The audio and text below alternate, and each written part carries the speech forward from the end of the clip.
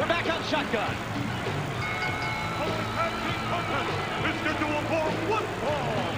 Introducing first at a combined weight of 625 pounds, Prince Albert and The Mad Hatter and the human pincushion tag team action here on Shotgun.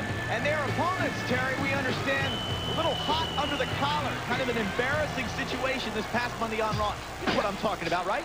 I did not film that,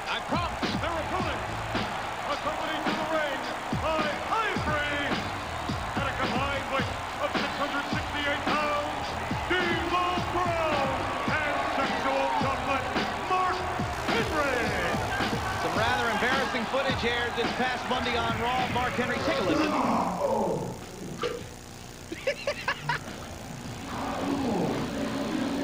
Who's in that next stall, Kevin? Oh, man, Mark! Have you ever heard the expression, light a match, Mark? Maybe a courtesy flush.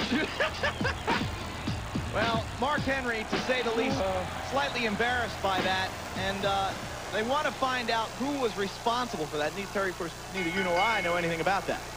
That's my story, and I'm sticking to it. Man, oh man.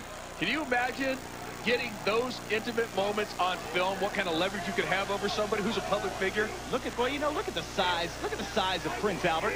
That is an absolute mountain of a man. Six foot eight, 375 pounds. Wow. And now just begging for Mark Henry to come into the ring. Not too many times the 400-pound world's strongest man is being openly challenged like that. Kevin, we have to discuss this. What we just saw. Who is the greater power? Boy, that question burns in everyone's mind, Terry, to this date. Stone Cold Steve Austin says he's going to come to Heat live this Sunday, and his actions will speak louder than words. He's the only one that has an idea. Well, we all thought, Terry, that it was Shane McMahon. And if you think about it, Shane was the only one who was not in the ring with the corporate ministry when the greater power revealed himself. But take a look. Eh, we saw Stone Cold's facial reactions. And the way Stone Cold reacted, it couldn't have been Shane McMahon. Then who was it? We don't know who the greater power is. It's amazing. Stone Cold Steve Austin is the only one who knows who the greater power is. And like I said, Terry, Stone Cold has promised that his actions will speak louder than his words this Sunday live on Heat. Droz coming in now off the tag. Mark Henry there to greet him. Also this Sunday on Heat, Terry, there's going to be four more qualifying matches for the King of the Ring tournament. One of your favorites, Droz. Yeah, Droz is going to have his hands full when he tangles with the Big Show. Oh, man, D'Lo Brown in off the tag. Tremendous sidekick. Also, you're going to have Test against Kane, Road Dogg versus the Godfather, and Chyna versus Val Venis. Could Chyna be the King of the Ring? Maybe Queen. If anybody can do it, it's Chyna. She'll have the opportunity to qualify for the King of the Ring when she battles Val Venis, one of four qualifying matches live this Sunday on Heat. Oh! Boy, beautiful move Oh, by yeah, over the top, and then Prince Albert pulls the top rope down, and out goes D'Lo Brown over the top, falling about eight feet. Plus, Terry, we also get word that sources inside the WWF for saying that this Monday's live Raw from the sold-out Fleet Center in Boston will be the most tumultuous Raw in history. That's all the information that we have right now about Raw live this Monday. Tumultuous. Look that one up. I think it's like turmoil. It is going to be wild. It's going to be a wild two days in the WWF with Heat live from a sold-out Nassau Coliseum in New York. And also, man, oh man, Raw from the sold-out Fleet Center in Boston. Prince Albert in off the tag. Buries a hard right hand to the breadbasket of D'Lo Brown. Crowd starting to get behind D'Lo and Sexual Chocolate. D'Lo Brown. Oh, what a kick by the huge mountain of a the and somehow D'Lo able to kick out. But you can tell D'Lo Brown is suffering the effects of the incredible agility. That kick from Prince Albert. Who could have ever imagined a man at six foot seven, almost 400 pounds, getting that kind of height and kick? D'Lo Brown needs to tag here and needs to tag in a hurry. And now look at this. Speaking of agility, two almost had it. Prince Albert very strong still. Able to kick out first to his feet. Turns D'Lo inside out with the clothesline. I hope everybody appreciates the athleticism these two phenomenal athletes have shown us here. Now, From agility to strength. I'm so sorry to interrupt, Kevin.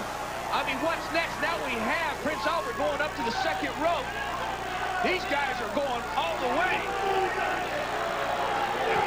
Ivory concerned, but now she's got to be feeling a little bit better about her team's chances. Prince Albert misses. Tremendous high-risk maneuver. But he's also cut the ring off. D'Lo Brown has to go through Prince Albert to tag. And right here, see, to be tactical error. I think Prince Albert should have tried to block the tag. Trying to get Droz in first, though.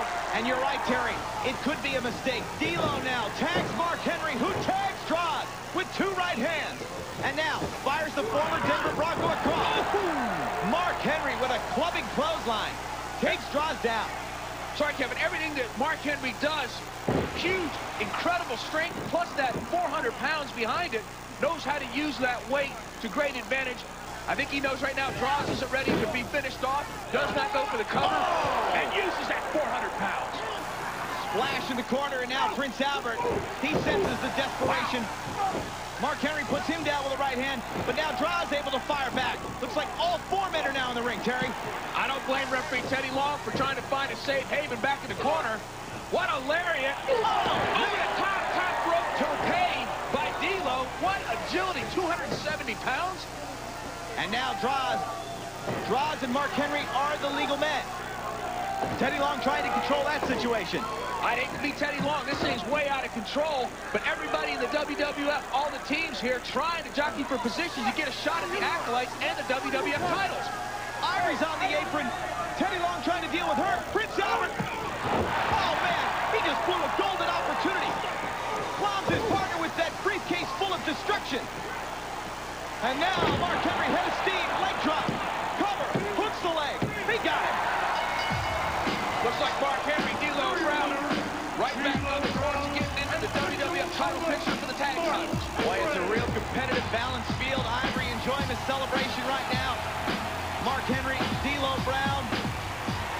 They would love an opportunity at the Acolytes. Oh, wait a minute. Droz and Prince Albert certainly are poor losers. Wow, I like that. I, I'll be honest with you, Kevin, I like this. D'Lo Brown, Mark Henry kind of reveling in their victory, and then you have Prince Albert and Droz attack from Droz is going to need this mean streak when he takes on the Big Show. One of four King of the Ring qualifying matches this Sunday live on Heat. Referees are out here trying to separate them. Boy, I like this fire. Maybe Droz in this tag team situation came out on the short end. He's going to need this and a whole lot more to take on the Big Show Sunday live on Heat. A little bit of tweaking from Droz and Prince Albert. They might have won this contest, but D'Lo and Mark Henry